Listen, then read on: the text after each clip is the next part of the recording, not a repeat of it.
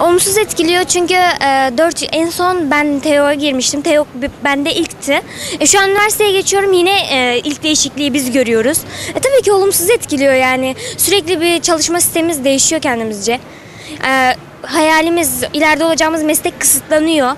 Olmak istiyorsun ki hukuk okumak istiyorum, hukuk okuyacağım ama yani e, dersler azaltıldı, dersler azaltı, azaltıldığı için kısıtlanıyor yani. Daha çok düşük mesleklere bakıyorsun.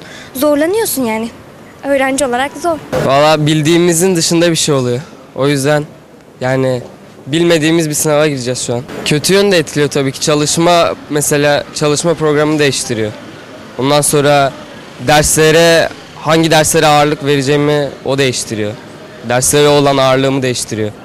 Farklı derslere yöneliyorum mesela. Ben hani sistemin değişmesini doğru bulmuyorum çünkü sürekli yeni bir sisteme göre hazırlanmak zorunda kalıyoruz ve çalışma sistemimiz her seferinde daha çok değişiyor. Hani bizi olumsuz etkiliyor. En çok da hayallerimizi etkiliyor aslında. Çünkü hani daha çok strese girdiğimiz için sürekli hayallerimiz daha e, düşüğe iniyor.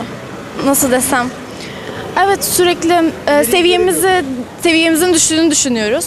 bir gecede sınav sistemi değiştiği için yani ona alışmamız zor oluyor. Birden değişiyor dersler kalkıp gelebiliyor.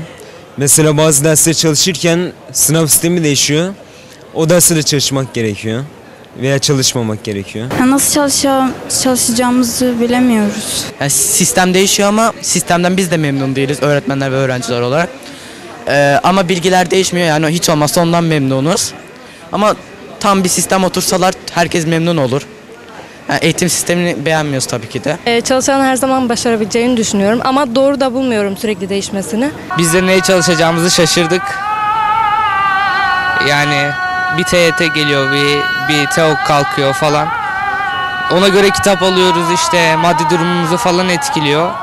Yani önümüze ne koyarlarsa onu yiyoruz. Şimdi bir fizik dediler. Fiziği azalttılar. Matematiğe çalıştık. Sonra fizik birden yükseldi. Yeni yeni şeyle birlikte.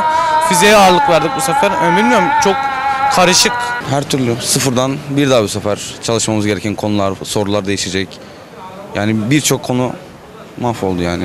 Yani çok kötü etkiledi bu sınav sistemi ama hani e, geleceğimiz söz konusu. Çalışmamız lazım.